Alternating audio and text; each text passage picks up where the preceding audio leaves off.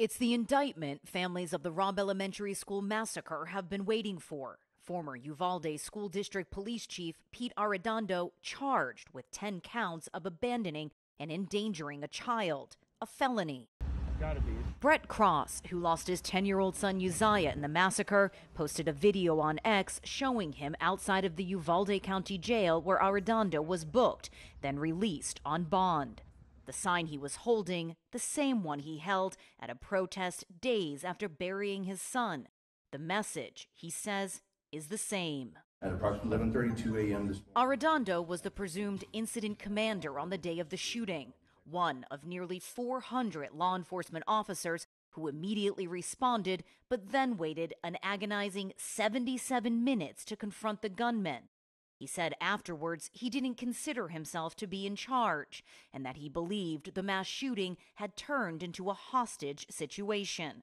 In a scathing report earlier this year, the Justice Department called that miscalculation the most significant failure in a cascading list of failures that day. Failures in leadership, in tactics, in communications, in training, and in preparedness were made by law enforcement leaders and others responding to the mass shooting at Robb Elementary. Their loved ones deserve better. The government, as well as the families who lost children that day, say lives could have been saved if police acted faster. Besides Arredondo, former Uvalde school police officer Adrian Gonzalez has also been charged. He was one of the first officers to arrive. The victims' families, who have been demanding accountability for years, say that's not enough. We're all happy that at least two officers were indicted. Um, we're we were hoping for a lot more, and we're hoping that that something does come in the future, but we're not holding our breath on that. We gotta get in there.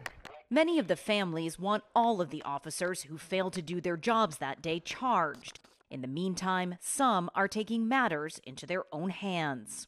The families are suing nearly 100 of the Texas State police officers who responded to the shooting, along with the manufacturer of the gun used in the attack, the gun store where the firearm was purchased, even companies behind violent video games like Call of Duty, which the gunmen played, as they seek justice for their loved ones.